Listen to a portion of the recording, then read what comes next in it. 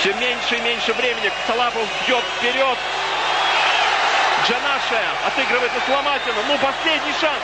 Соломатин назад. Карас. Бей! Падает под удар, так все тот же Манолов. Сколько можно? Косолапов. Пас налево. Гуренко. Николя штрафную подает. Прыжок. Маминов бьет и натягивает удар. Гол! Гол! Локомотив забивает второй мяч. Когда идет вторая минута добавленного времени, Локомотив забивает этот гол и выигрывает матч. Выходит в полуфинал Кубка Кубков. Я не боюсь этого предсказания.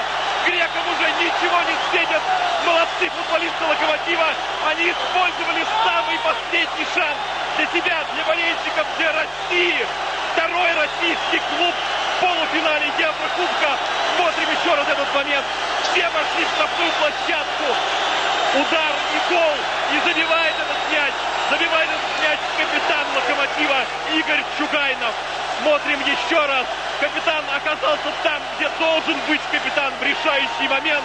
Пробил головой и на табло стадиона Локомотив 2-1 в пользу московского клуба. Просто молодцы, блестяще. Вот это характер, вот это игра. 2-1 московский локомотив выигрывает у греческого АЭКа и выходит в полуфинал Кубка Кубков.